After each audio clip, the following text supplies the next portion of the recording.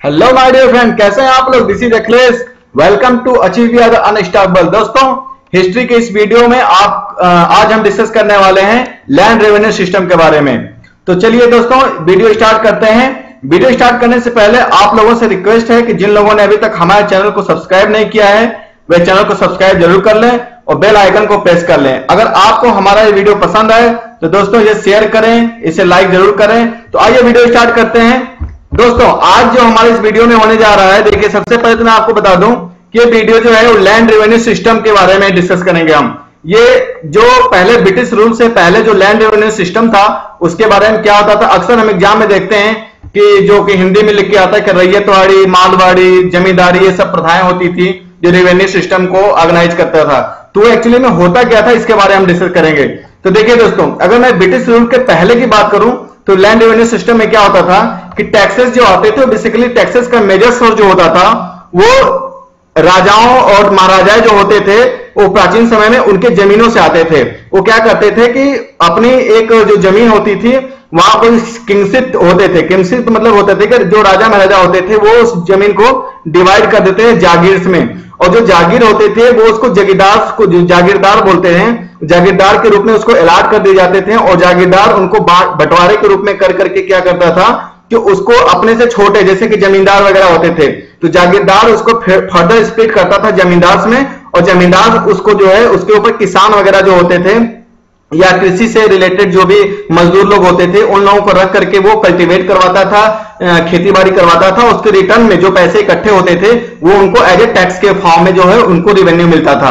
तो इस तरीके से ये एक आर्डर चला आता था कि पहले जो जो उसका मेन ऑनर होता था, वो ऑनर राजा महाराजा होते थे, वो क्या करते थे, उसको जागीर में डिवाइड करते थे, जागीर फिर उसको जागीरदार में और जागीरदार उसको जमींदार में और जमींदार उसको किसानों में बांट देता था।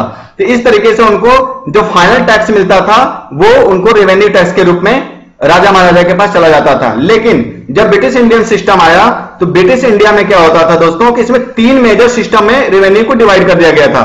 तो हम ये कह सकते हैं कि three major system of land revenue correction exist in India वो क्या थे? वो थे ज़मीन नितारी, रेतवारी और महालवारी। देखिए, जमींदारी सिस्टम क्या होता था? इसको मैंने यहाँ पे एक पिरामिड बना रखा है। आप इसको समझिए।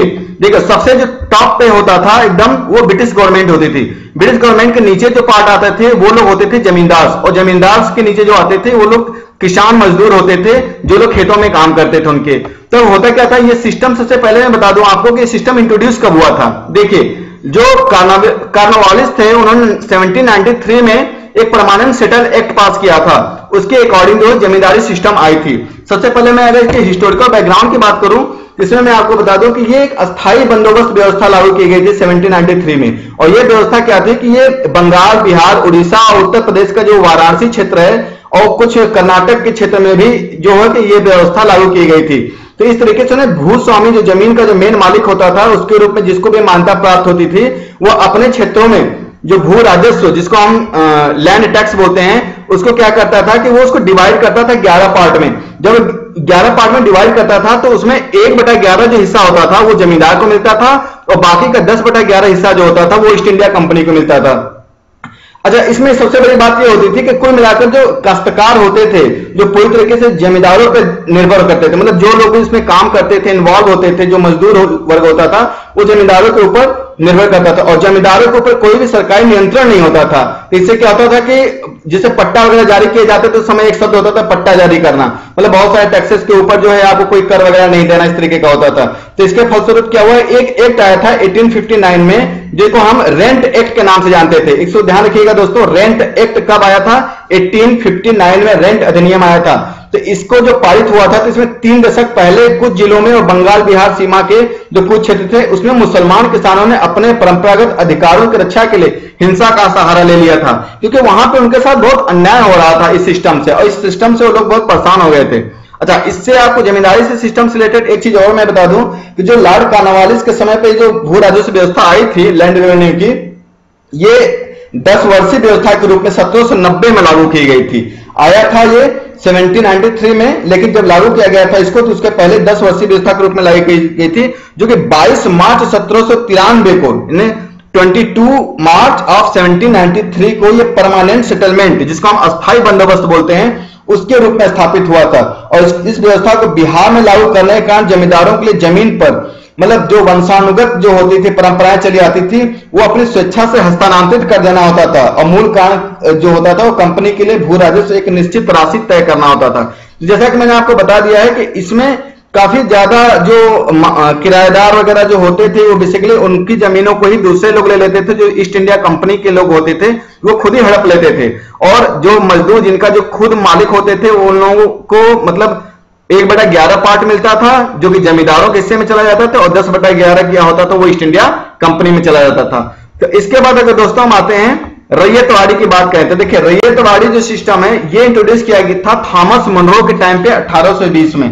अब, थॉमस मुनरो जब आए थे तो उन्होंने इसका मेजर जो एरिया जो इंट्रोडक्शन का था, ये रैयतवाड़ी सिस्टम का, ये था हमारा मद्रास, बॉम्बे पार्ट ऑफ़ कुछ असम के पार्ट थे और उसमें कोरक प्रोविंसेस ऑफ़ ब्रिटिश इंडिया के कुछ पार्ट होते थे। तो ये लोग यहाँ पे आते थे।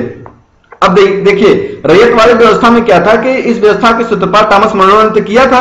1820 में जो मद्रास गवर्नर जो बनाया गया था, थॉमस मनरो को, उन्होंने क्या किया कि रैयत वाली व्यवस्था के किसानों को अपनी ज़मीन का मालिक माना जाता था, जो सीधे सरकार को कर देते थे। और कर का निर्धारण भूमि का, जैसे अगर उन्होंने सर्वेक्षण कर लिया तो सर्वेक्षण करने के बाद उनको यह लगता था कि हाँ इस ये ज़मीन सही है, उपजाऊ है, या ये ज़मीन अच्छा है, यहाँ पे हमें टैक्स ज़्यादा मिल सकता है। इस व्यवस्था को सरकार रैयतों को पट्टे प्रदान करती थी और वो किसानों जो भूमिहीन होते थे, वो ताकि वो अपनी कुछ, जिनके पास खेती वगैरह नहीं होती थी, वो लोग वहाँ पे कुछ काम वगैरह, मजदूरी वगैरह करके अपनी आजीविका कमा सके, इसलिए रखा जाता था।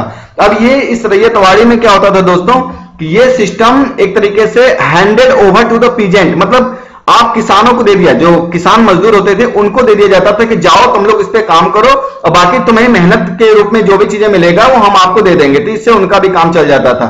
द रेवेन्यू रेट ऑफ़ रेत वाले सिस्टम में 50 percent way the land way dry and 60 percent in irrigated land जहाँ पे भी ज़मीन सूखी होती थी, वहाँ पे 50 परसेंट रेवेन्यू रेट्स होते थे, और जहाँ पे मतलब इरिगेशन होता था, जहाँ पे सिंचाई के लिए ज़मीन अच्छी होती थी, वहाँ पे 60 परसेंट मिलता था।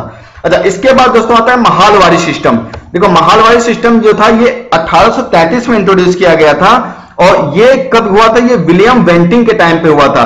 और ये इसका जो मेन जो इंट्रोड्यूस हुआ था, ये कौन से जोन में हुआ था? इसको आप ध्यान रखिएगा।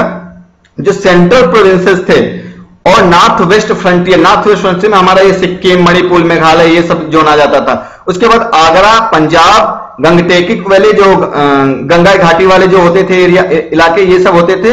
और ब्रिटिश इंडिया के द्वारा ये इंट्रोड्यूस किया गया था। तो ये जो मेन रीजन थे, ये लोग थे, ये north east west frontier Agra, Punjab BTC तो अब आप देखिए इसमें, जब ये विलियम बेंटिंग आए थे 1833 में, जब मालवाड़ी सिस्टम को लेकर के तो इसमें क्या होता था कि इसमें जमींदारी सिस्टम और रैयतवाड़ी सिस्टम दोनों को एक तरीके से मिला करके बनाया गया था। इस सिस्टम में क्या होता था कि लैंड को महल्स में डिवाइड कर दिया जाता था और जितने भी महल होते थे, वो कंप्रोमाइज करते थे। एक या दो गाँव को, एक या एक से अधिक गाँव को ले लेते थे और उसके बाद जो भी उसका मालिक होता था, वो अपने हिसाब से जो था जो किसान होते थे, किसान ही उसका फिर मालिक हो जाता था। यानी ownership right were vested with the peasant और विलेज जो होते थे विलेज गाँव के लोग जो होते थे, वो टैक्स के लिए कलेक्शन के लिए पूरी तरह के रिस्पॉन्सिबल होते थे। जो गाँव में कमेटी बना दी जाती थी कि जो किसान का खेत है, वो अपना किसान अपने खेत पे काम करे, बाकी उससे जो हमें कर मिलेगा, वो गाँव में एक कमेटी बना देते थे अंग्रेज़, वो लोग वहाँ से कलेक्ट कर लेते थे। तो ये टोटल सिस्टम था हमारा, जो कि ये लैंड रेवेन्यू जो है था, इससे रिलेटेड था। तो देखिए, इसमें मेन चीज़ आपको क्या याद करनी है कि तीन तरीके का सिस्टम था हमारा लैंड रेवेन्यू का। आफ्टर द ये आपका कह सकते हैं ब्रिटिश रूल के पहले जो था, वो तो राजा महाराजाओं का जागीरदार का था, जो जैसा कि मैंने आपको बताया लेकिन उसके बाद जब ब्रिटिश रूल आ गया उसमें तीन तरीके से इसको बांट दिया गया था। जमींदारी रैयतवाड़ी और महालवाड़ी। तो आप इसमें डिफरेंस कैसे करेंगे? देखिए जमींदारी में जैसा कि मैंने बताया आपको कि जमींदारी में जमींदारों को ही ज़मीन दे दी जाती थी। जमींदार उसके बाद उसके ऊपर जो है वो अपने हिसाब से आ, काम करवाता था गरीब मजदूरों से किसानों से और उनसे कलेक्ट करता था जिसमें कि एक बटा ग्यारह पार्ट जो था जमींदार को जाता था वहाँ से और दस बटा ग्यारह पार्ट टोटल जो होता था वो ईस्ट इंडिया कंपनी को शेयर होता था। फिर रैयतवाड़ी सिस्टम आया जो, थॉमस मोनो लेकर आया था अठारह सौ बीस में इसमें जो था पचास परसेंट और साठ परसेंट का कॉन्सेप्ट आया था। ये टोटल जो ज़मीन होती थी ये पूरा का पूरा जो ओनरशिप होता था वो पीजेंट के पास पीजेंट मतलब किसान जो होते थे मजदूर जो होते थे, उनको ही सौंप दिया जाता था। उसके बाद अगर खेती अगर अच्छी होती थी तो वहाँ अगर इरिगेशन अच्छा हो रहा था तो 60 परसेंट दिया जाता था उसका रेवेन्यू रेट और अगर 50 परसेंट तब मिलता था, जब वहाँ की लैंड जो होती थी, वो ड्राई होती थी। और उसके बाद थर्ड जो आया था महालवाड़ी सिस्टम आया, जो अठारह में विलियम बेंटिंग लेके आए थे। इसमें क्या होता था कि ये टोटल का टोटल जो महाल्स में डिवाइड कर दिया गया होता था इस सिस्टम को, और महाल्स जो करता था ये एक या एक से अधिक गाँवों को देखता था। उसमें गाँव में कमेटी बना दी जाती थी, जो कि टैक्स को कलेक्ट करने के लिए पूरी तरीके से रिस्पॉन्सिबल होती थी, और ज़मीन का मालिक कौन होता था? ज़मीन का मालिक खुद ही किसान हो जाता था। तो ये इस तरीके से तीन सिस्टम को अपनाया गया था। अब देखिए दोस्तों, इसके बाद मैं बात करता हूँ आपसे लैंड रिफॉर्म की बात करता हूँ। देखिए land reform in India after independence ये तो बिफोर इंडिपेंडेंस की बात थी अंग्रेज़ों के समय पे, लेकिन जब आफ्टर इंडिपेंडेंस क्या हुआ था? देखिए, जमींदारी एबोलिशन एक्ट आया था, जो कि यूपी में तमिलनाडु, बिहार, मध्य प्रदेश, इन कुछ स्पेशल जगहों पे जो विशेष थे उस समय, जो मेजोरिटी में होते थे, इन जगहों पे इसको पास किया गया था। अब देखिए, इसमें क्या होता था कि जो लैंड जो ज़्यादा हो जाती थी किसी के पास तो उसको कॉन्फिस्केटेड कर दिया जाता था जमींदार से। मतलब एक तरीके कॉन्फिस्केटेड का मतलब होता था कि जब्त कर लिया जाता था और बाद में उस ज़मीन को सीलिंग एक्ट के तहत डिफरेंट स्टेट में किसी पर्टिकुलर लिमिट पे क्या दिया जाता था, उसको पास कर दिया जाता था, उसको सील कर दिया जाता था। उसके बाद इस ज़मीन को जो limit for private land holding of a family जो भी परिवार होता था, जिसका भी वो ज़मीन होता था, उसको एक तरीके से सील कर दिया जाता था। मतलब अगर आपके पास एक एक्सेस अमाउंट से अगर ज़्यादा, चाहे वो जमींदारी क्यों ना हो, अगर उसके ऊपर अगर आपकी ज़मीन होती थी तो आपको ज़मीन को जब्त कर लिया जाता था। तो ये जमींदारी एवोल्यूशन एक्ट था। इसके बाद आता था आपका land reforms in India usually refers to redistribution of land from rich to the poor ये लैंड रिफॉर्म जो आया था, इसमें क्या था कि अमीरों से लेकर के गरीबों तक, जो एक आर्डर चला आता था, उसमें अगर किसी के पास अगर बहुत ज़्यादा ज़मीन वगैरह होती थी तो उसको डिस्ट्रीब्यूट कर दिया जाता था। मतलब कि सबको खाने पीने के लिए सबके पास व्यवस्था हो एग्रीकल्चर के लिए सबके पास व्यवस्था हो, ये एक बहुत ही बड़ा जो था, एक रिफॉर्म था। जो land reform is often connected with the redistribution of agriculture land hence it is related with the agrarian reforms too तो ये एक तरीके से बहुत बड़ा एग्रीकल्चर रीडिस्ट्रीब्यूशन एक्ट था, जिसके तहत काफ़ी लोगों को इसमें फ़ायदा भी मिला था।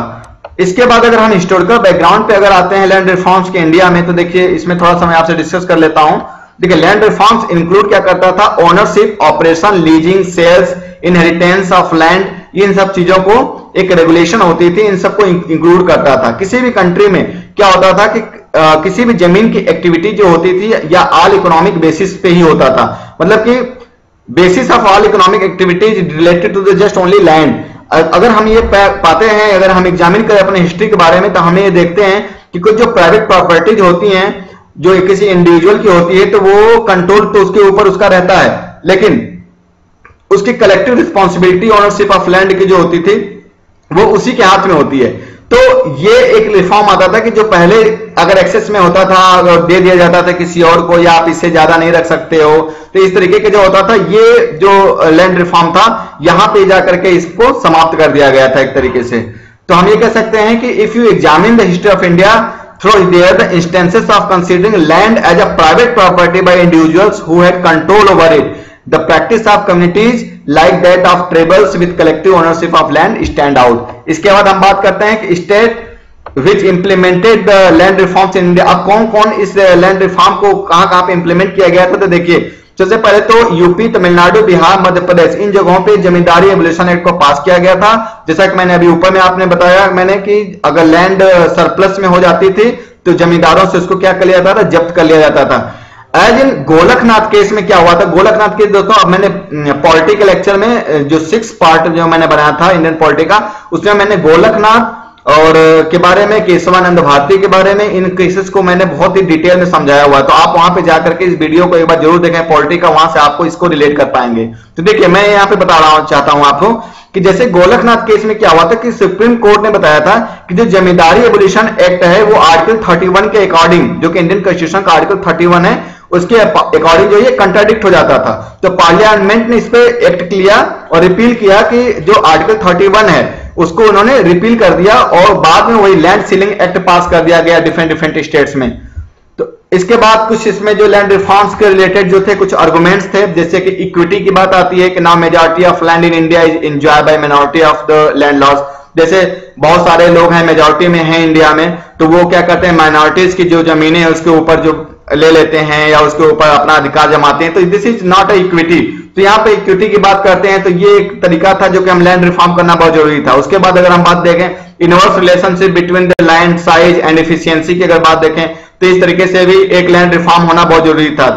जैसे कि स्मॉलर लैंड है better will be the productivity and efficiency छोटे छोटे जगहों पे जैसे लैंड है तो वहाँ पे हम काफ़ी अच्छे से केयर कर सकते हैं। उसकी प्रोडक्टिविटी उसकी इफिशियंसी ज़्यादा होगी।